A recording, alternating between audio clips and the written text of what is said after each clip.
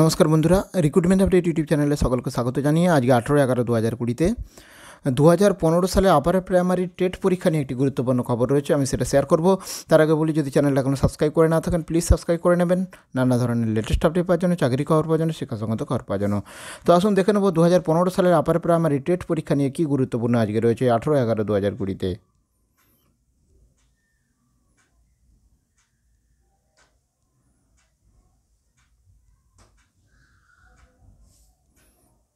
দেখুন টেট টেটের নম্বর পুনর্মূল্যায়নের মামলা।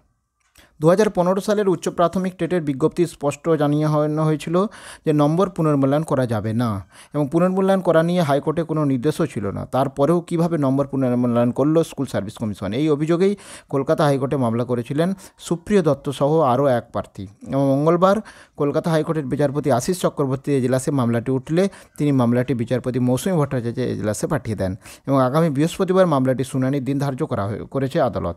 মামলাকারীদের আইনজীবী ফিরদৌসি সামিম জানান পুনর্মূল্যায়ন করে কয়েক হাজার প্রার্থীর নম্বর বাড়িয়ে দেয় এসএসসি এবং তার অভিযোগ, এভাবে পুনর্মূল্যায়নের নামে আসলে দুর্নীতি চাপা দেওয়ার চেষ্টা করছে এসএসসি। তাহলে দেখতে পাচ্ছেন দু হাজার পনেরো সালের টেট পরীক্ষা যে পুনর্মূল্যায়ন করেছিল এসএসসি, তার কোনো নির্দেশিকা ছিল না বা বিজ্ঞপ্তিতেও স্পষ্ট জানানো ছিল না বা মানে হাইকোর্টেরও কোনো নির্দেশ ছিল না। তা সত্ত্বেও স্কুল সার্ভিস কমিশন পুনর্মূল্যায়ন করেছে।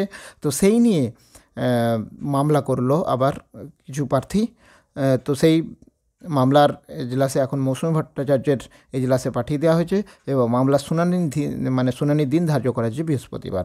তো এই নিয়ে আরও আপডেট পেলে অবশ্যই শেয়ার করব। সঙ্গে থাকবেন এবং চ্যানেলটা সাবস্ক্রাইব করে নেবেন। ধন্যবাদ ভিডিওটি দেখার জন্য।